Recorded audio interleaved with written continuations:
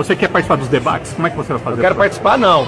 Ai daquele que parar na minha frente no debate. Ai, como eu sou felina. Ah, miau. Você é o bichão mesmo, hein, doido? Quem que é teu alvo? Lula ou Bolsonaro? Qualquer um dos dois. Os dois pra mim significam a mesma pessoa. A diferença que eu vejo do Lula e do Bolsonaro é a falta um dedo em um deles. apoiando Lula. Deus não fala com você, Silas Malafaia? Ele não falou que você estava apoiando o maior ladrão da história da humanidade? A pessoa que mais furtou dinheiro da, de uma civilização? O maior ladrão da história? Você apoiou ele, Deus não te avisou, não? Você apoiou o Alckmin, que hoje apoia ele. Você já apoiou tanta gente, né? Hoje você apoia alguém que ama ditadores, né? Deus te falou alguma coisa? Sabe o que, que é isso, ô, ô Silas? O problema seu é que você é um covarde por não obedecer um chamado. Você sabe que você foi chamado para sentar naquela cadeira e como você não é homem suficiente para isso, você fica na barra da saia de todo mundo e ano que vem você vai querer andar na minha. Deixa eu te falar uma coisa. Cuida da sua vida e daquilo que Deus pôs dentro do seu coração. Para de cuidar da vida dos outros. Você hoje é o principal conselheiro do presidente da República, é por isso que esse país está essa intolerância. Você não tem tolerância com os outros. Você não tolera nada. Você acha que todo mundo tem que ser o que você quer. Por isso que o presidente é desequilibrado igual você. Agora, se quer ouvir alguém que dá conselho pro presidente da República, eu vou dar um nome. Chama o pastor Silas Malafaia aqui. Esse fala quase diariamente com o presidente e influencia o presidente. Chama ele aqui.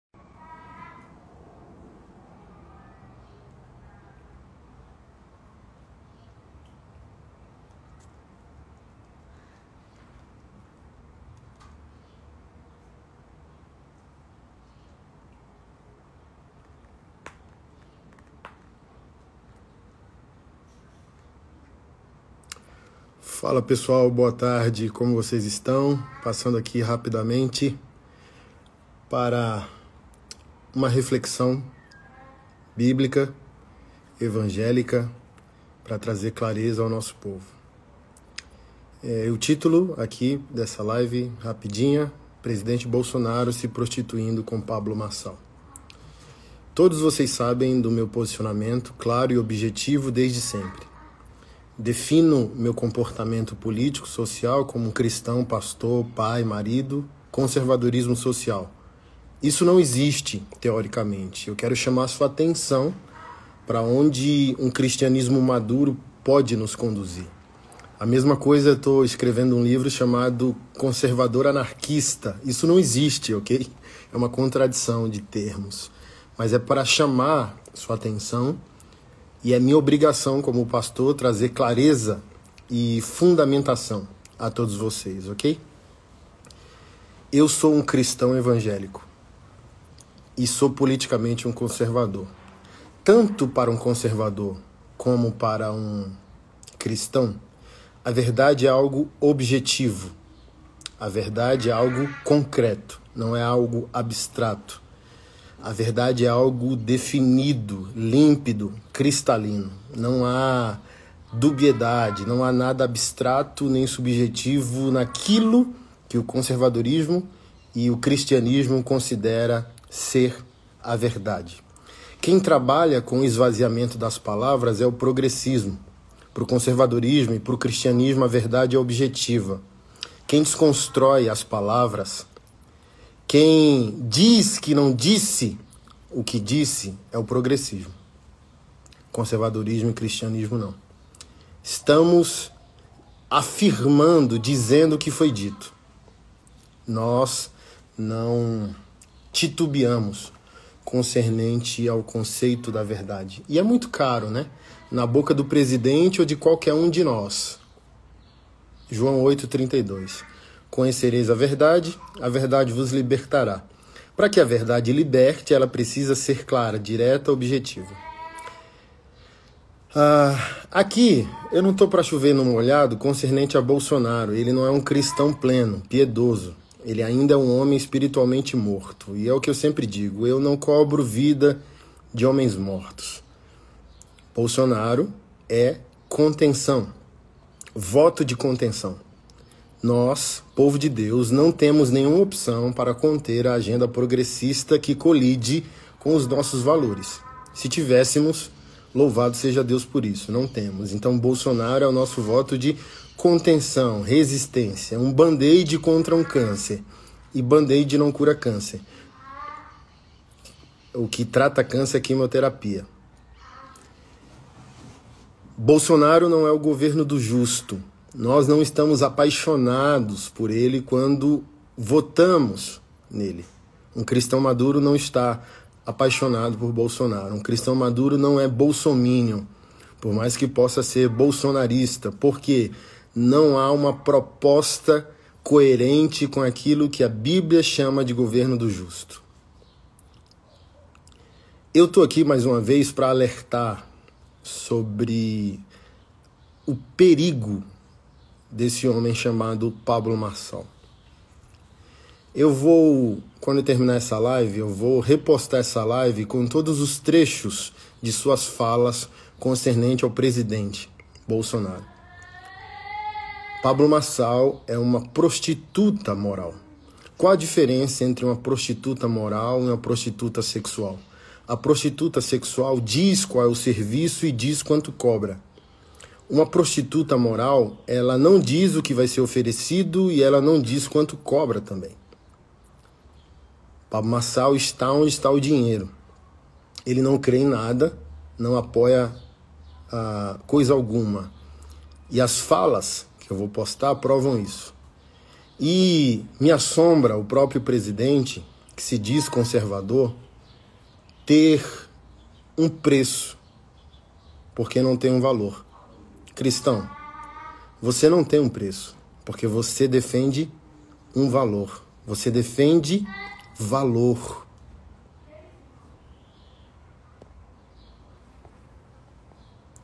Gente, ó, essa tal de Josi aqui, não caia nessa ladainha, viu? De, ah, meu filho tá com fome, tá chorando. Tem quadrilha sobre isso aqui, ó. Provavelmente é, vou bloquear aqui, ó. Não caiam nessa conversa de gente pedindo ajuda pelo Instagram. Quem tá te dizendo isso é alguém que tem mais de 30 projetos sociais. Isso é ladainha, tá? É... Não vale tudo por causa do mandato. Não vale tudo para ganhar.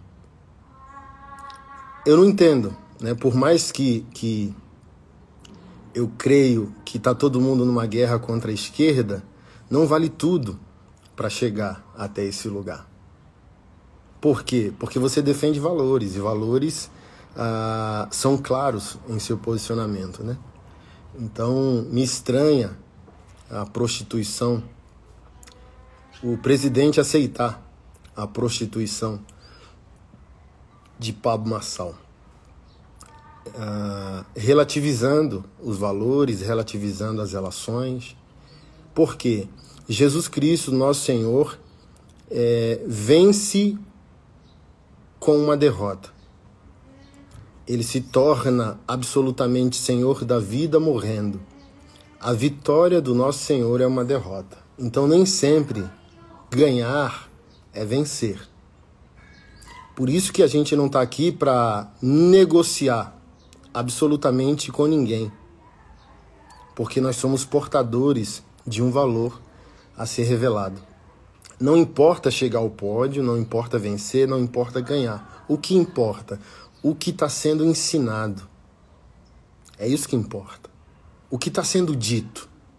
É isso que importa. O que os nossos filhos estão aprendendo com as nossas palavras e as nossas posturas. Ok? É isso que importa.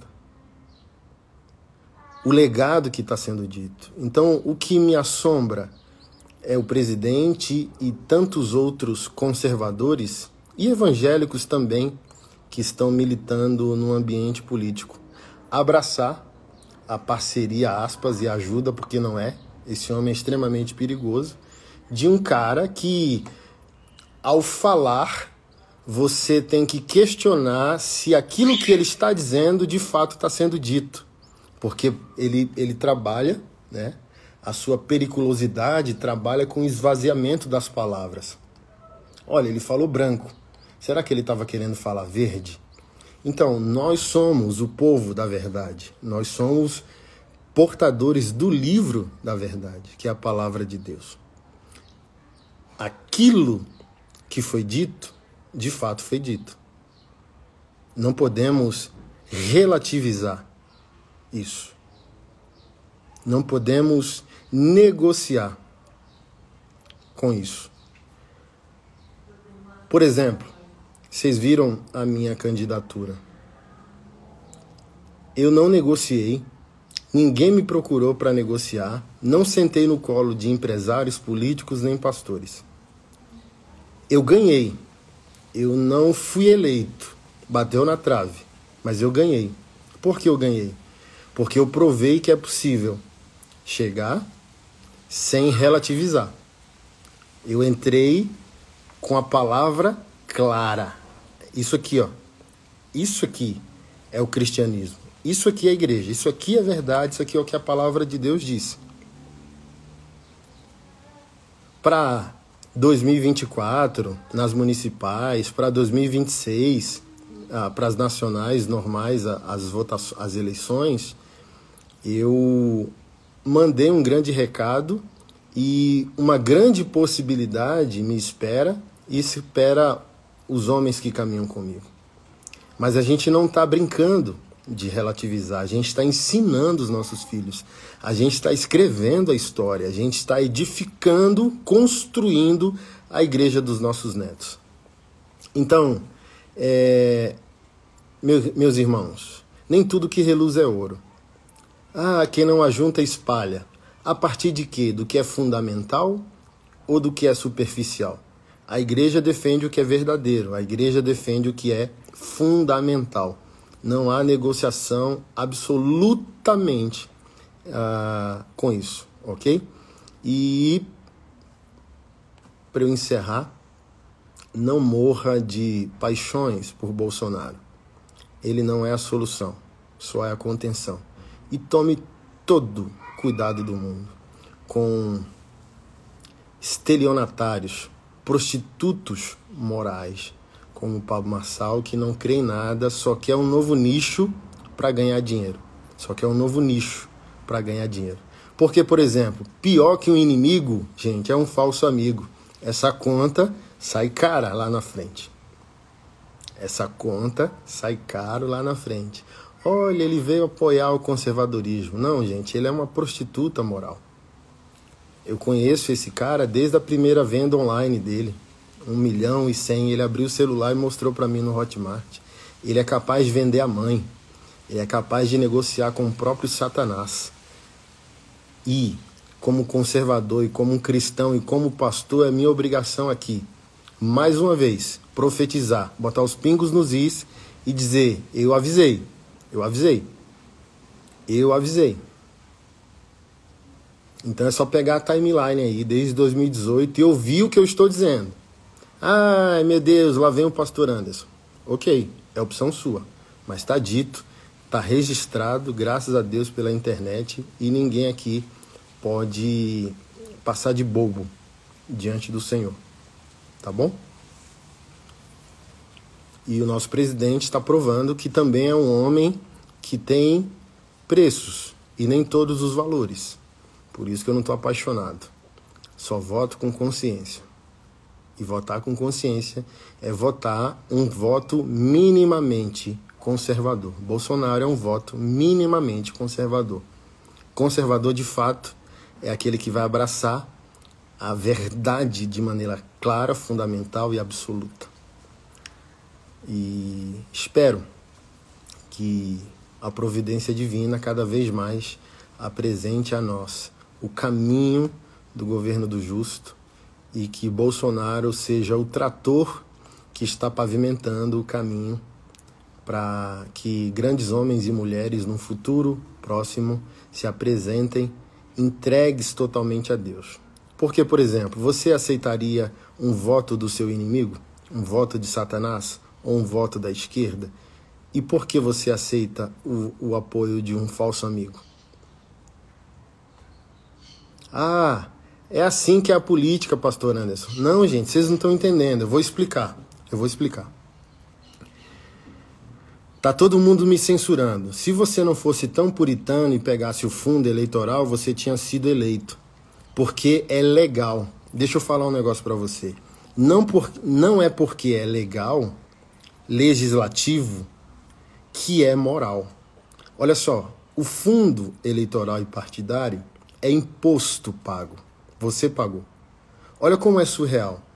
Com o seu dinheiro, que é o imposto pago, você financia a campanha de um candidato que vai usar o seu dinheiro para te convencer a votar nele. Se ele for eleito, se ele não for eleito, o Estado, o governo, mandou uma clara mensagem para nós. Que mensagem é essa? Não há responsabilidade alguma com a administração do dinheiro público. Por exemplo, um candidato usa um milhão do fundo. Se ele foi eleito e for um bom político, né, dos males o menor. Não foi eleito um milhão, um milhão do seu dinheiro, do imposto que você pagou, foi para as cucuias. Pergunta para mim se isso é uma questão moral que um cristão maduro deixaria. Ah, não. Não, não tem como. Ah, o pastor Anderson teria que usar o fundo. Aí lá na frente eu me oponho ao fundo e entrei usando o fundo eleitoral. Não tem como, gente. Olha, eu olho para a história do cristianismo para poder me posicionar agora. William Wilberforce foi um político cristão na Inglaterra. Ele lutou 18 anos para libertar, alforriar os escravos. Primeiro ano ele foi zombado. No 18º ano, depois de 18 anos lutando, todos os anos apresentando o mesmo projeto de lei, depois de 18 anos o homem de pé foi aplaudido. Então, assim, ó, não há negociação com verdade e mentira. A verdade é objetiva. A verdade é clara. Um cristão e um conservador diz o que está dizendo. Vocês vão entender melhor o que eu quero dizer com isso quando eu acrescentar aqui os vídeos do Pablo Massal. Ou seja, não creia nesse homem. Esse homem não diz o que diz quando está dizendo algo. Não há unidade na mentira, Lorena. Temos que nos unir. Unir em quê? Unir em quê? Se teu marido te trai, aí tu vai te unir com a, com a, com a adúltera que está traindo o teu casamento? Não há unidade, querida, na mentira. Unidade somente na verdade. Ok? Meia verdade já é uma mentira completa. E nós precisamos uh, nos posicionar. Ok? Oh, o Ralph, Bolsonaro não é avivalista, ele é político, pastor. que faz uso do avivalismo, né, o queridão. É ele que apregou a João 8,32. Olha, quando você diz que ele é um político, você consequentemente está dizendo que um político mente? É isso que você está dizendo para mim? Se é isso que você está dizendo, qual é a nossa postura como, homem, como homens e mulheres de Deus? Aceitar que o político é um ser mentiroso, disposto a todo tipo de acordo, mesmo usando a igreja e botando a igreja no meio dessa mentira? Por favor. É por homens como você, Ralph, que o Brasil está é, do jeito que está. Porque homens como você estão dispostos a entregar o destino dos seus filhos.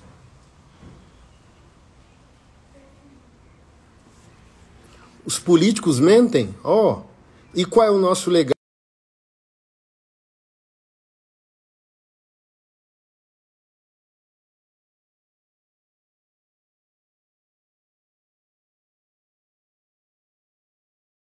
na política.